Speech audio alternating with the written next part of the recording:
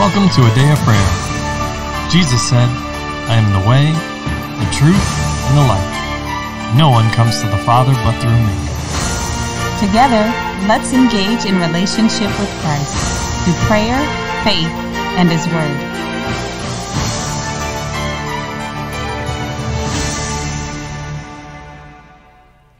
Good morning, everybody. My name is Layla, and you're listening to a Day of Prayers morning Bible study. We're so grateful to have you here this morning, and we're blessed. But before we get into the Word, let's take a moment and pray. God, we just thank you for today, and we thank you for the divine healing that you provided for each and every one of us, Lord, whether it's in our finances, in our relationships, Lord, in our physical bodies. Lord, we just thank you for it, and we claim it now in faith, God, and we walk in it, and we rejoice before you, Lord. We thank you for the table that you prepare before us in the presence of our enemies, God, that every need that we have is met, Lord, and it's supplied abundantly because of your goodness and your mercy and your favor that you show towards us, God. We thank you for our partners and we thank you for our listeners, Lord, and those that you're continually bringing into your kingdom, our brothers and sisters in Christ Jesus. And we just thank you for today and we thank you for all things. In Jesus' name, amen.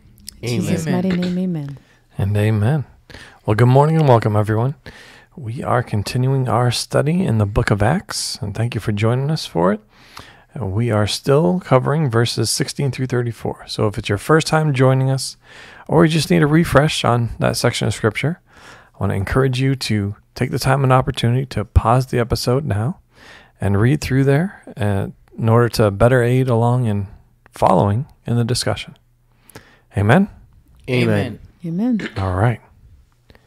And now we are opening the floor to give each of you the opportunity to share what the Holy Spirit speaking and ministering to you and to ask any questions that you have.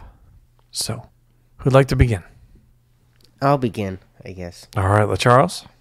Um, one thing that the Lord was showing me and speaking to me about is that as we look at what Paul is doing here, was that when he went to go talk to him, like Mom was saying in previous podcasts, he had a different approach than what he had for previous places. and what I found, un, what I found very interesting is that when Paul first started his message in verse 22, then Paul stood in the midst of the Areopagus and said, Men of Athens, I perceive that in all things you are very religious.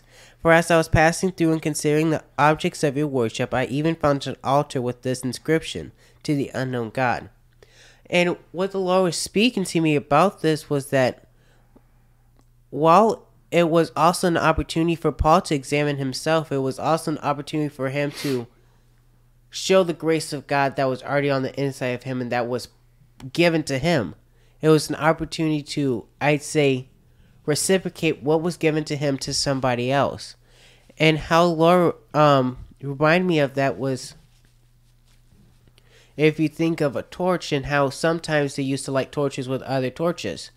You didn't strike them all up individually. You lit one, then you lit the others with that one. Okay. And that's something that's happening here. It's similar. It's not the Lord coming back to, okay, I gave you grace, now I need to come and give you some. Yes, He is the one who gives us grace, but He always also says, I've done this for you, now go do it for someone else.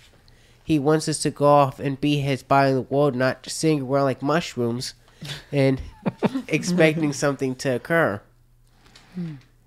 And then with that, also another thing that I found interesting was that this is the exact exact same perspective that the Lord has had the whole time, and we see that what Paul was saying that the Lord has overlooked this because of your ignorance. And if we go to Jonah, the book of Jonah, we see that he gives the exact same grace and mercy to the Ninevites because they had no knowledge. Mm-hmm. He's not waiting for someone. He's not sitting on his throne preparing to strike someone down, saying, "I can't wait till he sins."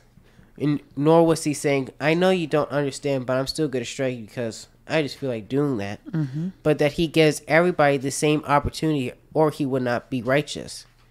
If he had certain rules for certain people, then it would fail to be consistency. And that would make him opposite of what he says that he's no respecter of persons. Yes. That would mean he is a respecter of persons. Mm-hmm. yes.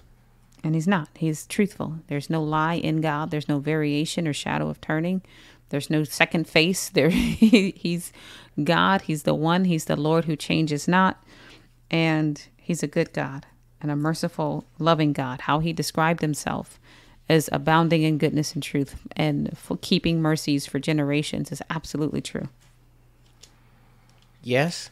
And then also with that was as he was giving them this grace and this mercy, it was not to be abused. It's not, okay, Lord, I'm not going to listen to you so I have an excuse later to say, you can't judge me on this. So you can't put your hands in your ears and go la la la la la la.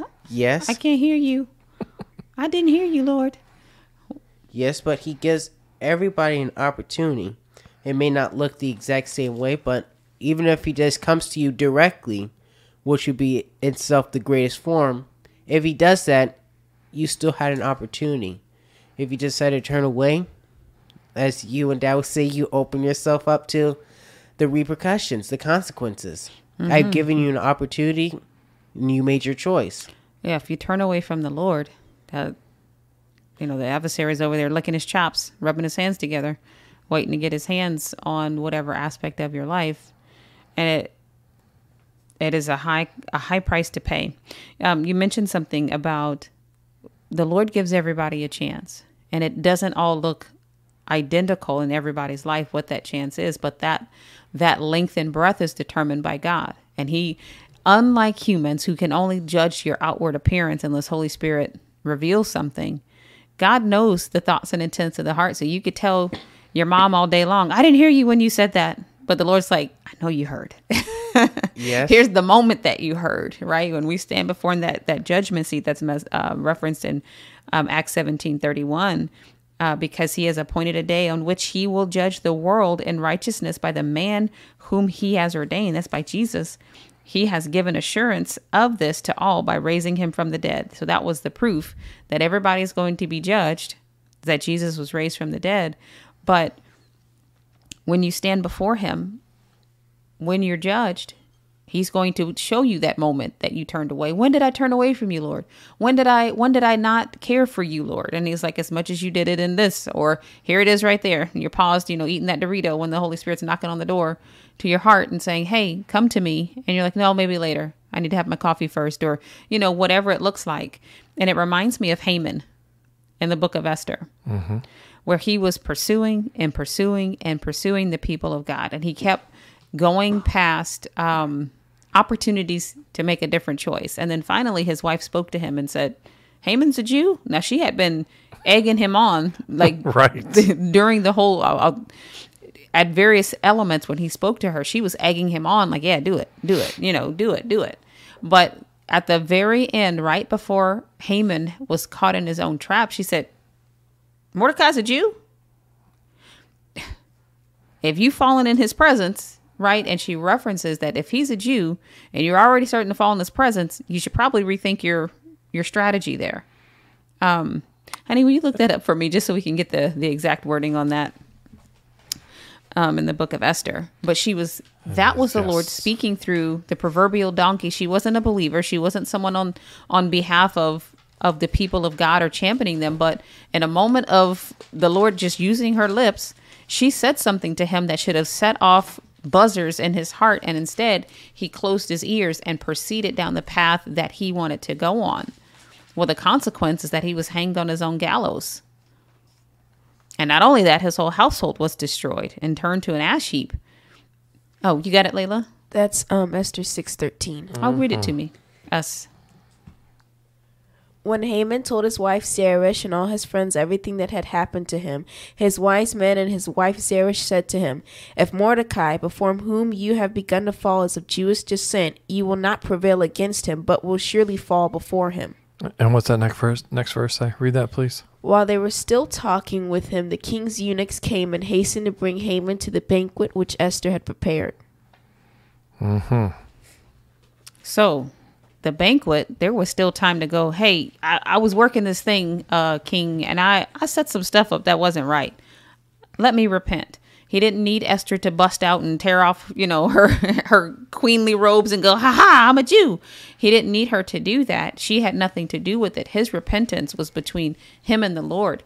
And that opportunity that came where there suddenly these folk, the same people that were egging him on and going, do it, do it. You should build the gap. Don't you have, you know, you should, you should make it happen. And, you know, all of these things telling him to be contrary to God and to continue in the path that he was on. Those same people in a moment said, er? The Lord used their voice and his wife's voice in particular to go, hey, you better turn the corner.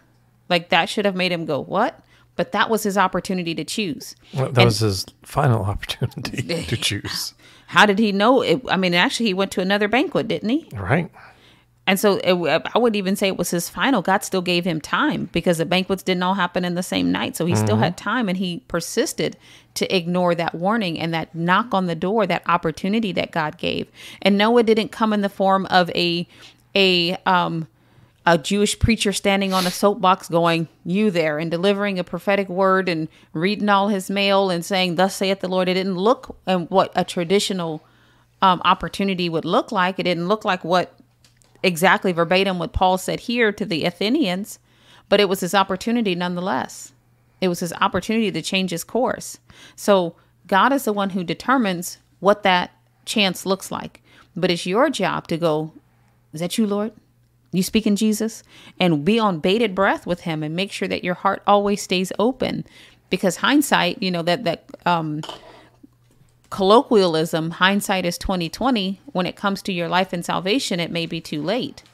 Now, in the case of um, Haman, Jesus hadn't physically come in the earth yet, but if there was an opportunity for Abraham to be welcomed into the kingdom on due time, then that meant there would have been an opportunity for Haman to be welcomed into the kingdom in due time after Christ had, was crucified and raised from the dead. Does that make sense? Because Abraham was in Abraham's bosom. That's how the Lord describes it. Um, Jesus, the, the Messiah, when he was in the natural ministry, he described it as Abraham's bosom when he was talking to the rich man and Lazarus and all of those things about the chasm being in between them. And you know, you remember what I'm Yes. Okay. Yes. Okay. Um, so he didn't go to hell, but he may not have been able to go fully into heaven, but he was still kept in a, a lovely place until such a time that Christ was raised from the dead. And then now the heavenly community is coming back together. So Haman had an opportunity. He co- still could have said yes to God, and then he would have been hanging out with Abraham until it was time to be fully welcomed in to heaven. Mm-hmm. So he had a chance. As we all do. So the chances that Christ give you or that he's offering to other people should not be esteemed lightly. Well, I'm waiting for him to do it this way. I'm waiting for it to look like that. I'm waiting for the the card the clouds to part and one one ray of sunshine to hit my right eye right above my eyelashes and then the dove to fly over and then two pigeons go by. The opportunity is not yours to try to set up the parameters, but it is your opportunity to receive when the Lord presents it. So, so all that, I'm reminded of a few different things, right?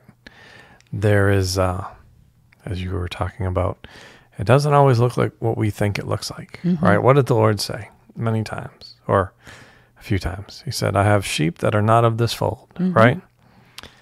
And then he also, in John 16, talks about the Holy Spirit and the role of the Holy Spirit, right? He says, uh, and when he has come, he will convict the world of sin, of righteousness, and of judgment. Of sin because they do not believe in me, of righteousness because I go to my Father and you see me no more, and of judgment because the ruler of this world is judged. Right? Yes. So I I bring that because, uh, depending on your translation of the scripture, that section about the role of the Holy Spirit is he will teach the world about these things because they didn't understand, they misunderstood, right? In this section in Acts and at uh, at Athens with the Athenians, they wanted to know about this new doctrine that Paul was teaching. But then they asked the Lord the same thing, right? About what new teaching he's giving. He said, The doctrine I teach isn't mine, but his who sent me, right? We we covered that in one of the, the earlier, more recent podcasts, right? But um, so as we were reading that, I was reminded of uh, well, all the way back in Deuteronomy 29 29. What's it say? The secret things belong to the Lord our God, but those things which are revealed belong to us and to our children forever, that we may do all the words of this law. And it's interesting when that verse pops up, right? And this is why it's interesting. If we back up a little bit, right? Uh, to verse 24, he says that the nations would say, Why has the Lord done this, done so to this land? Where does the head, sorry, uh, the heat of his great anger mean? And that the people would say, Because they've forsaken the covenant of the Lord God of their fathers, which he made with them when he brought them out of the land of Egypt, for they went and served other gods and worshipped them, gods they did not know, and that he had not given to them. Then the anger of the Lord was aroused against his land to bring it to bring on every curse that is written in this book. And the Lord uprooted them from their land in anger, in wrath, and in great indignation, and cast them into another land as it is this day. And then, of course, there's that verse, right, about the secret things belong to the Lord, but those things which are revealed, right? And then it says now, in, in beginning of chapter 30 of Deuteronomy, says, It shall come to pass when all these things come upon you, the blessing and the curse, which I've set before you, and you call them to mind among all the nations which the Lord your God drives you, and you return to the Lord your God and obey his voice, according to all that I command you today, you and your children, with all your heart and with all your soul, that the Lord your God will bring you back from captivity and have compassion on you, and gather you again from all the nations where the Lord your God has scattered you. And again, as I was saying, it doesn't always look like what we think it looks like. All right? Yes. The earth's the Lord's and everything in it. He's just mm-hmm. ta- teaching them. I'll say he's revealing to them, the Athenians, mm-hmm. the secret things of the Lord and what the Lord meant.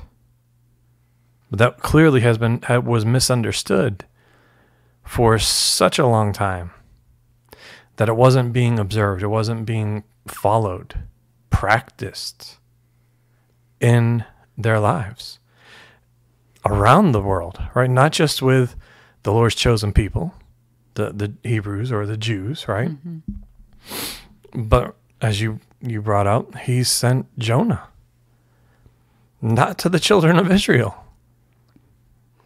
Well, and that was long before Christ. Amen. Yes. So there's the same pattern and example. Now here he is sending Paul to minister to others, to teach them or give them the opportunity to understand those secret things mm-hmm. that are not common.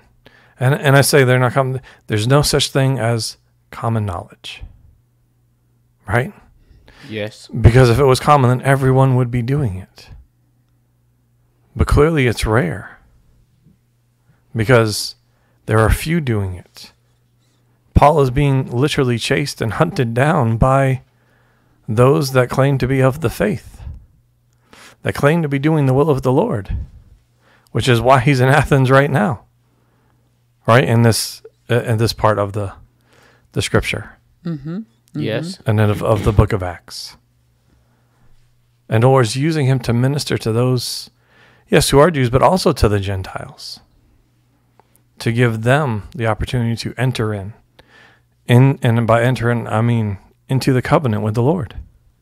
And to correct, uh, it says they worship gods that they did not know. Well, they did not know God. And now he's here he is educating them about the true and living God.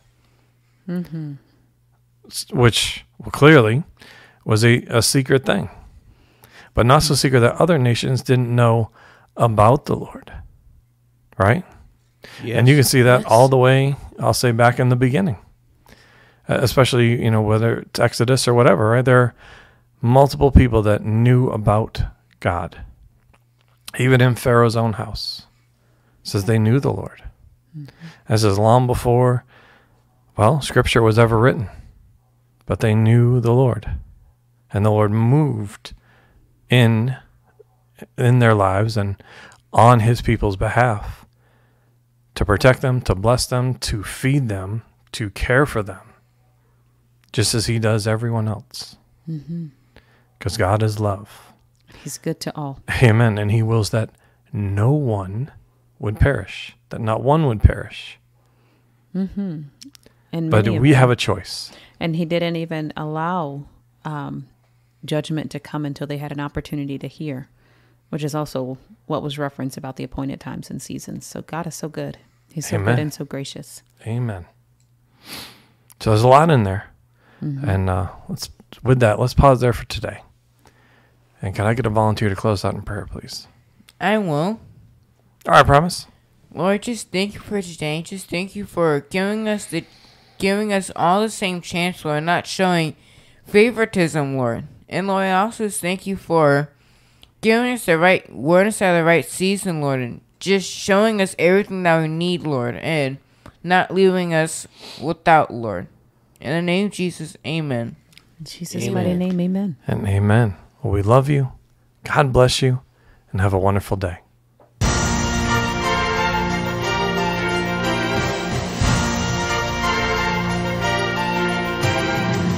Thank you for listening to A Day of Prayer.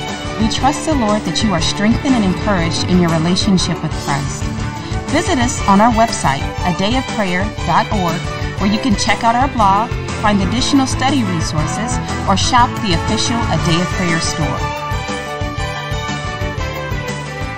Remember, Jesus said, I am the way, the truth, and the life. No one comes to the Father but through me. So until next time, take care and God bless you.